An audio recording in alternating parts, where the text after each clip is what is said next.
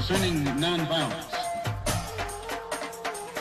It is criminal to teach a man not to defend himself when he is the constant victim of brutal attacks.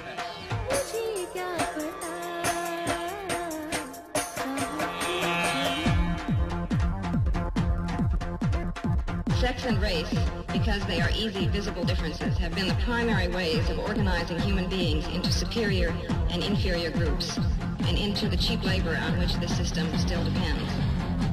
We are talking about a society in which there will be no roles other than those chosen or those earned. We are really talking about humanism.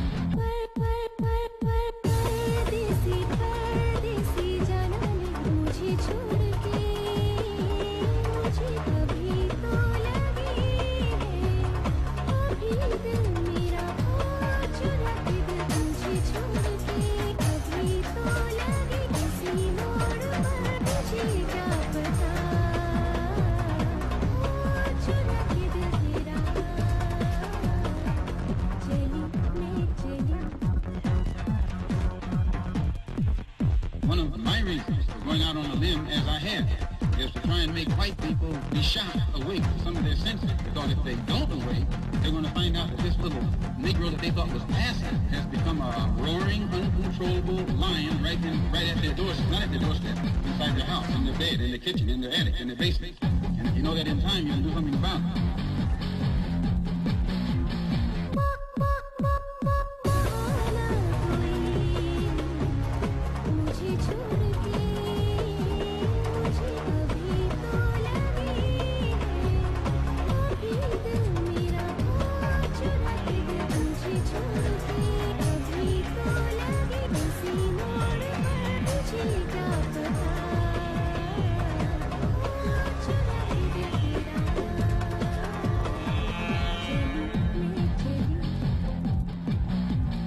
No simple reform. It really is a revolution.